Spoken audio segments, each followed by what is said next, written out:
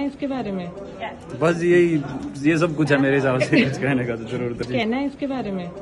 बस यही ये सब कुछ है मेरे हिसाब से कुछ कहने का तो ज़रूरत बहुत बहुत धन्यवाद आप सभी का क्योंकि मुझे लगता है कि सबसे जो ज़रूरी चीज़ थी इस साल वो कंपटीशन खेलना था इंटरनेशनल और मैंने फेडरेशन में ही बात की और सभी से और टॉप्स से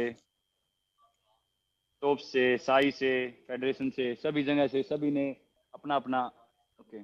सभी जगह से सभी ने अपना अपना सपोर्ट किया और वो जो मुझे बीच में दो तीन इंटरनेशनल कंपटीशन मिले तो वो मेरे लिए बहुत ही ज़्यादा ज़रूरी थे।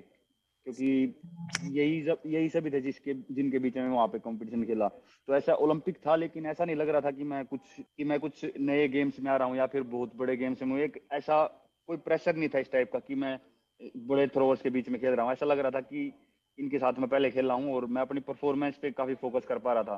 तो शायद वही कारण है कि क्योंकि इंजरी के बाद काफ़ी अप डाउन आए तो आप सभी ने हेल्प की और ये सभी, आप सभी का, मेरी मेहनत तो है ही, उसके साथ साथ आप सभी की मेहनत है।